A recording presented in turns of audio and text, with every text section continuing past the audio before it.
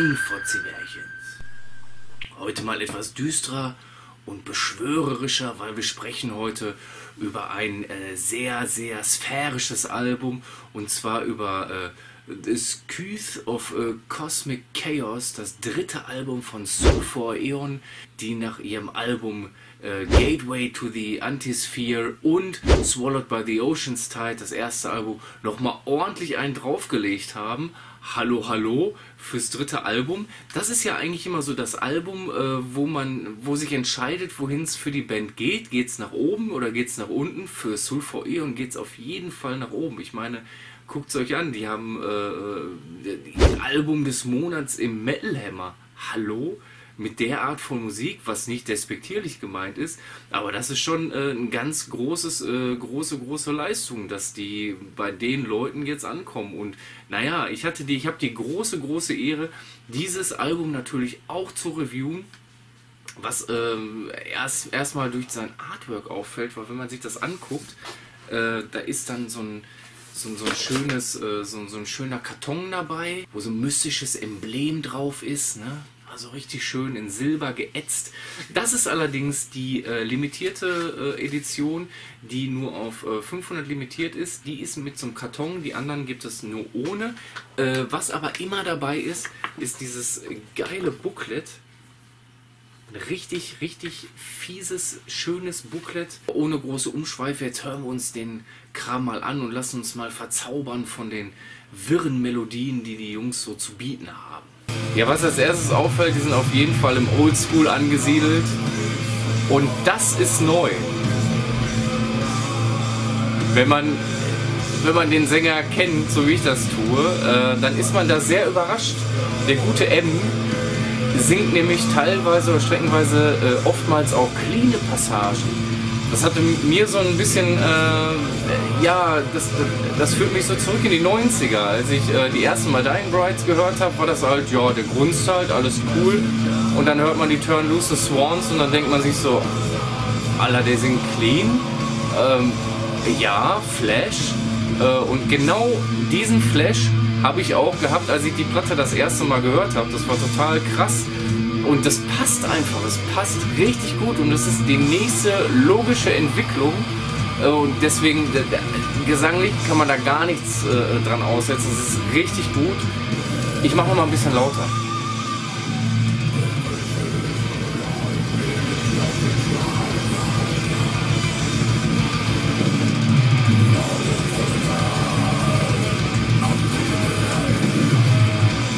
Ja, auch Gitarrenarbeit, da muss man nicht viele Worte drüber verlieren. Das ist einfach, ja, ich frage mich immer, wie schüttelt man solche Konzepte, solche Riffs und solche äh, Songstrukturen mal so aus dem Ärmel? Wahrscheinlich schütteln die sich das nicht so einfach aus dem Ärmel, sondern da wird viel, viel, viel, viel Arbeit drin stecken.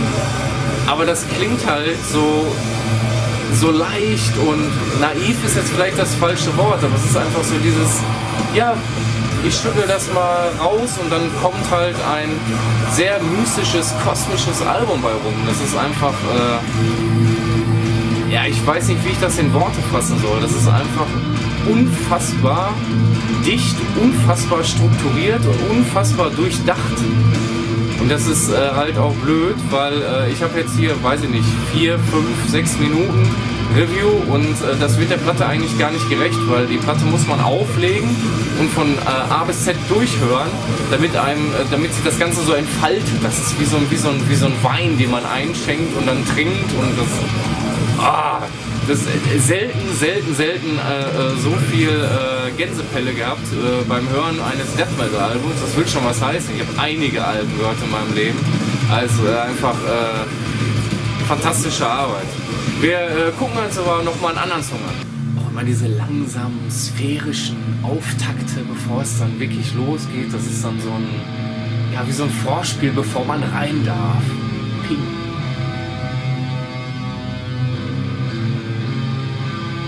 Dieses grandios geile Cover, das ist von Ola Larsen, der schon äh, seit der ersten Scheibe da immer die Covers für die schmiert.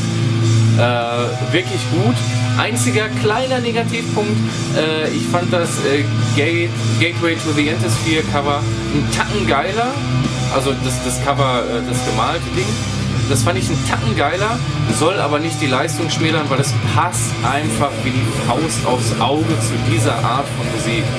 Das ist einfach, äh, ja, weißt du, da rechnest du mit nichts mehr dieses Jahr. Da denkst du dir so, ja, Wild haben halt ein geiles Oldschool-Album gemacht, das ist vielleicht so Aspirant Death Metal-Album des Jahres und dann zack, kommen Sulfur Eon an die Ecke und schnitten da nochmal so, so ein Teil raus. Richtig, richtig geil. Ich freue mich auch schon äh, auf die Release-Party. Das wird äh, unfassbar geil. Die wird äh, wahrscheinlich, wenn ich das Video hochlade, abends steigen. Ja, und dann wird es darüber auch nochmal ein durch die Nacht geben. So viel sei an dieser Stelle schon versprochen. Was ich aber auf jeden Fall sagen kann, klare Kaufempfehlung für jeden, der sphärischen Oldschool Death Metal äh, mag, ohne, äh, dass die, ohne so, so, so ein aufgezwungenes Image. Das, das, denen nimmt man das ab. Die, die leben das. Das ist richtig, richtig, richtig geil. Deswegen äh, Sulfoeon, äh, das Küth of äh, Cosmic Chaos hier, die Sense des kosmischen Chaos, irgendwie, äh, könnt ihr euch definitiv äh, ungehört kaufen. Ich meine, es läuft im Hintergrund und ihr genießt die Klänge wahrscheinlich genauso, wie ich es jetzt gerade schon wieder tue. Zum, weiß ich nicht, zehnten Mal, wie ich das höre. Kauft euch die Scheibe einfach, supportet die Jungs, äh, sind es echt wert. Äh, Warn Records hat damit eine richtig, richtig, richtig, richtig geile Scheibe an den Start gebracht. Und naja, wie gesagt, äh, wir sehen uns beim nächsten Review. Äh, kauft euch Sulfur hier und ganz großartige Scheiben. Jetzt abschalten, ne? Abschalten.